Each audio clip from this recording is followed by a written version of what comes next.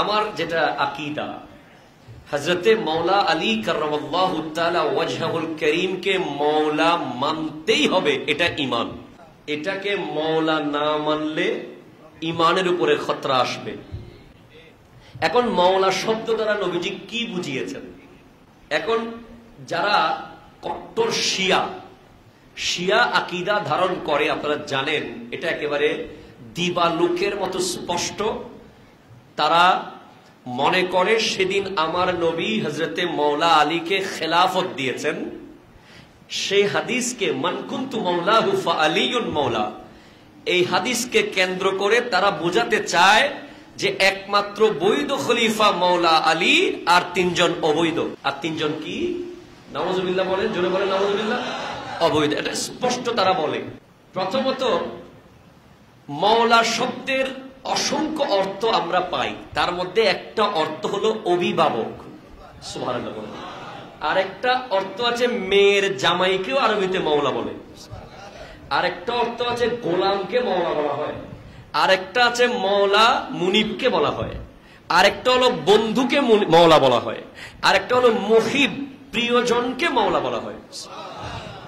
তাহলে আমরা সব অর্থকে এক জায়গায় আনলে এখানে যে অর্থটা আমরা খুব উপযুক্ত মনে করতে, যেটা আমাদের আকিদা, আহলে সুন্নত ওয়াল জামাতের আকিদাকে পাক্কা রাখবে পোক্তা রাখবে, কোনো কোতাহি হবে না।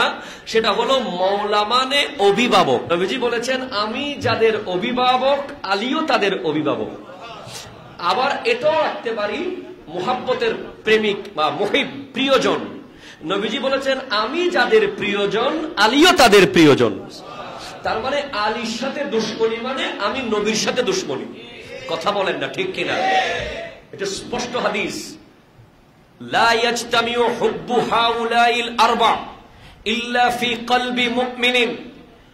এই চারজনের ভালোবাসা একমাত্র মুমিনের ছাড়া। অন্য চারজনের ভালোবাসা এক হতে পারবে না। হয়তো দেখবেন কারও কলবে একজনের ভালোবাসা আছে, তিনজনের নাই। কারও কলবে তিনজনের আছে, একজনের নাই। কারও কলবে দুইজনের আছে আর দুইজনের নাই। যারা অতি গবেষক, অতি জ্ঞানী, যাদের জ্ঞান, যাদের রিসার্চ তাদেরকে শয়তান বানিয়েছে। ঠিক কিনা কথা বল। আপনাকে বুঝতে হবে আকাবেরিন কি করেছে।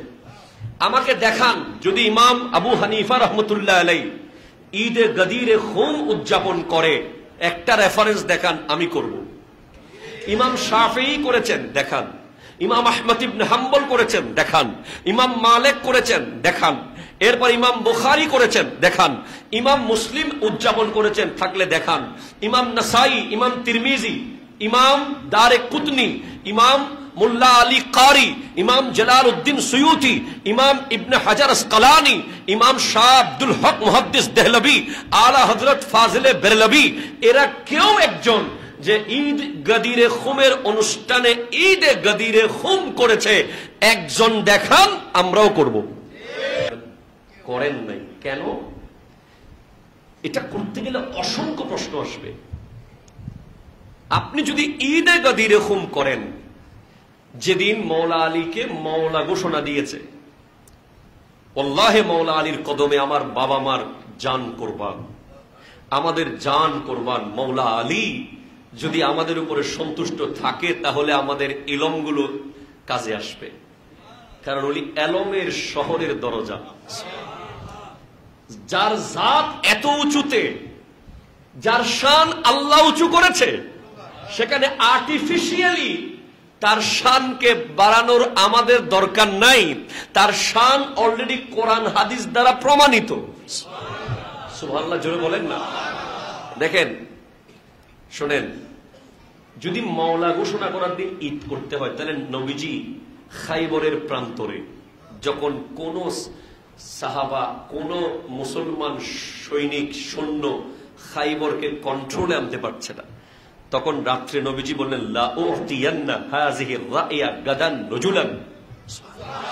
আমি হাইবরের এই পতাকা, খাইবরের পতাকা আগামীকাল একজন ব্যক্তিকে দেব। যাকে আল্লাহ রসুল ভালোবাসে, যে আল্লাহ রসুলকে ভালোবাসে। সকালে উঠে সবাই অপেক্ষায় কাকে দিবে?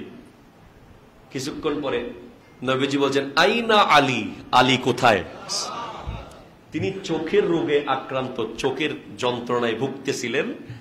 নবীজিকে বলছেন, ইয়া রসুলাল্লাহ, আমি একটু চোখের রোগে আক্রান্ত। বলে, তুমি সামনে আসো, নাও। পতাকা তোমার হাতে।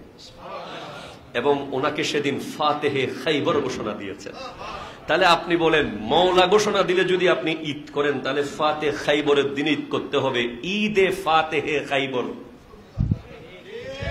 কথা জোরে বলেন না ঠিক কিনা? কারণ এটা ওনার একক বৈশিষ্ট্য। যদি এমন হতো, একই জিনিস অনেক সাহাবাকে দিছেন। তাহলে আমি বলতাম, ঠিক আছে, অনেকজনকে দিয়েছেন, তাই করতেছেন না। এটা শুধু মৌলা আলী কার্লাহ করিমকে খাস করে দিয়েছেন যে খাইবর বিজেতা এবং ওনার হাতেই খাইবর বিজয় লাভ করে।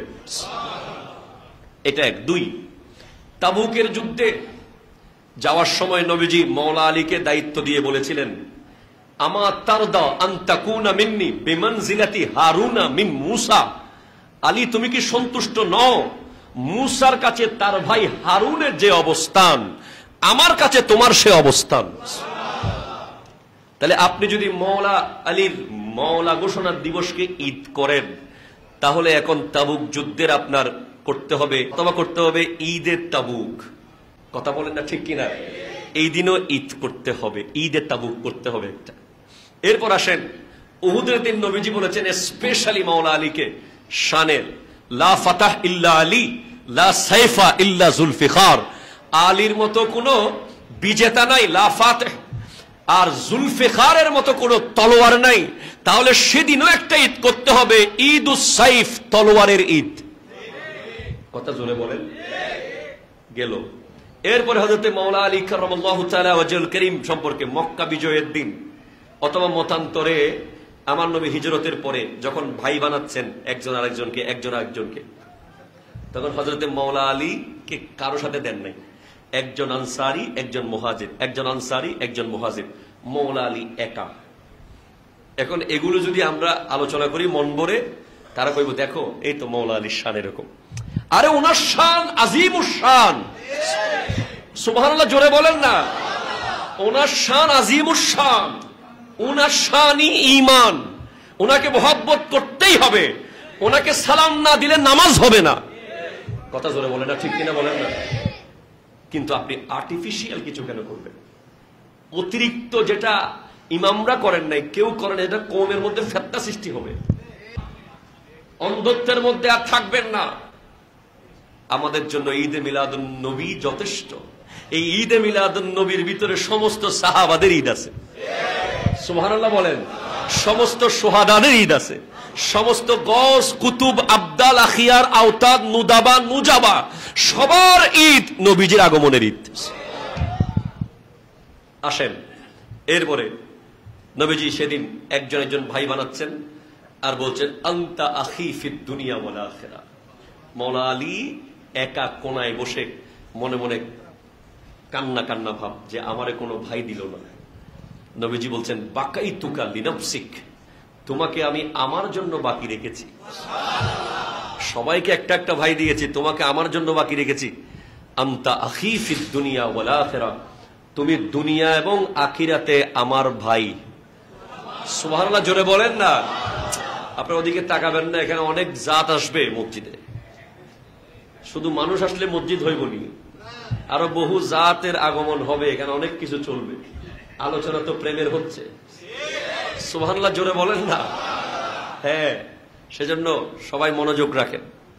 তো যদি ওই মানকুন্তু মৌলাহু ওদিনকে ঈদ ঈদ করা হয়, তাহলে নবী যে স্পেশালি বললেন, তোমাকে আমি আমার জন্য বাকি রেখে তুমি আমার ভাই। সেদিনও তো ঈদ করতে হবে, ঈদ এ আহুন নবী। ঠিক কিনা বলে আরও যদি বলি, নবীজি বলছেন, আনা মদিনাতুল ইলম। ও আলিয়ুন বাবুহা আনা দারুল হিকমা ও আলিয়ুন বাবুহা আমি আলমের শহর, আলী তার দরজা। আমি হেকমতের কামরা, আলী তার দরজা। যদি ওই দিন ঈদ করা হয়, তাহলে সেদিনও ঈদ করতে হবে ঈদু বাবিল ইলম। ঈদু বাবিল করতে হবে।